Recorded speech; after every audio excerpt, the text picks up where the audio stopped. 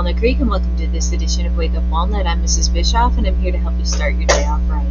Let's take a moment to stand for the pledge, please. I pledge allegiance to the flag of the United States of America and to the republic for which it stands, one nation, under God, indivisible, with liberty and justice for all.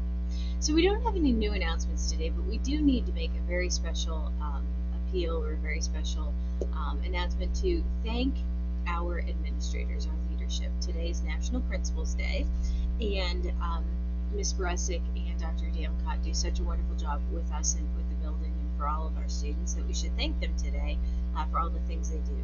Ms. Brusick had these wonderful things to say about Dr. Damcott. Today we have the utmost pleasure in celebrating an exceptional leader who shapes the very heartbeat of our school, none other than Dr. Damcott.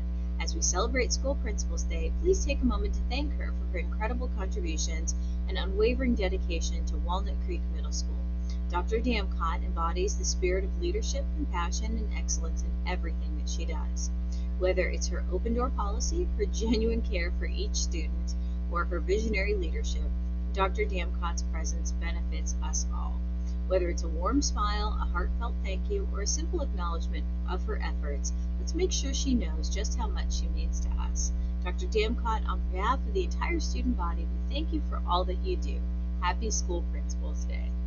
And we would be remiss if we didn't also thank Ms. Baresic for really stepping up and helping us in our hour of need. It was a difficult time to just jump into our school, uh, you know, mid-year, midstream, um, but you've done an excellent job with that, and we greatly appreciate your talent and your hard work and your dedication um, to us here at Walnut Creek. Um, that's it for me, everyone. Um, I hope that you have a great day and make sure we